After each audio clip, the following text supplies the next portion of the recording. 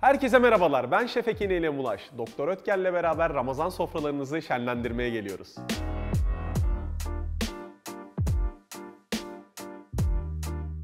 Şimdi sizlerle nefis bir irmik helvası kavuracağız ve bunun yanında da el yapımı harika bir salepli dondurma hazırlayacağız. Dondurmamız için kullanmamız gerekenler 1 su bardağı krema, 1 su bardağı süt, yaklaşık 5 yemek kaşığı kadar toz salep, 1 çay kaşığı kadar da vanilin kullanacağız. Hemen başlayalım. Sütümüzü ve kremamızı tenceremize alıyoruz. Hemen arkasından söylemiş olduğum 5 yemek kaşığı kadar toz salebi de içine ekliyoruz. Yaklaşık 1 çay kaşığı kadar vanilini ekledikten sonra güzelce karıştırıyoruz. Ev tabiriyle bir taşım kaynatıp yoğunlaştırıp soğumaya alacağız. Şimdi istediğim yoğunluğa ve e, fokurdamaya geldi. Artık ocaktan alacağım. Biraz daha şöyle ocağın dışında karıştırıyorum. Ve şimdi artık dolaba kaldırmak için kabını kullanacağım. Aldım kabını da.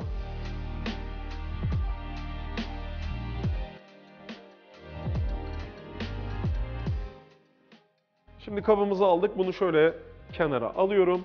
Oda sıcaklığına geldiği zaman derin dondurucuya kaldıracağım. Dondurmamızı derin dondurucuya attık. O şimdi donarken biz de artık irmik helvamızı pişirmeye başlayabiliriz. Hemen tencereme ocağa alıyorum. Bir paket Doktor Ötker irmik helvası için yaklaşık 4 yemek kaşığı yani hemen hemen 100 gram kadar tereyağı tencereye alıyorum. Bunu güzelce eritiyorum. Yaklaşık 2 su bardağı kadar da süt kullanacağım tereyağlarım eridikten sonra. Sütümü de tencereye alabilirim artık. Tereyağlarım eridi.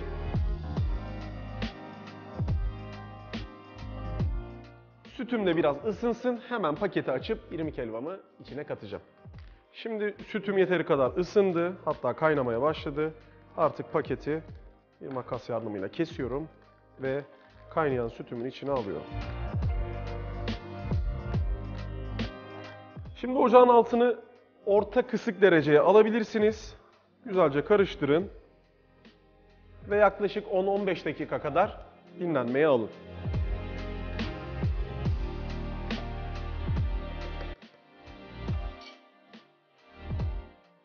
İrmiğimiz yeteri kadar demlendi. Şöyle bir açıyorum tenceremi ve gerçekten tam da istediğim kıvamda olmuş. Nefis görünüyor. Yaklaşık bir saat içerisinde de muhtemelen dondurmam da hazır olacak ve biz bunu servise hazır hale getireceğiz.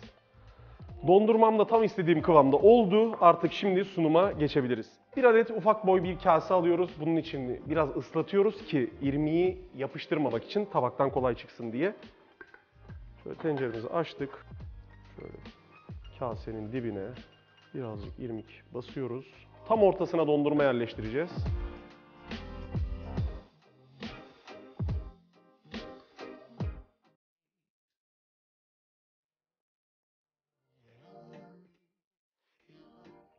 Dondurmamı içine yerleştirdim. Şimdi üstünü artık tekrar helvayla kapatabilirim.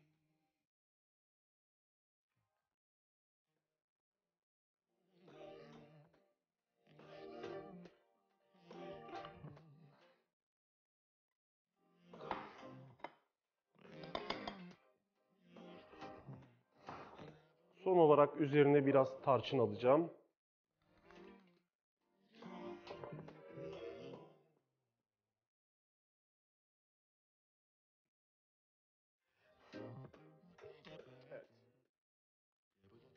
Dondurmalı Doktor Ötker irmik helvamız servise hazır.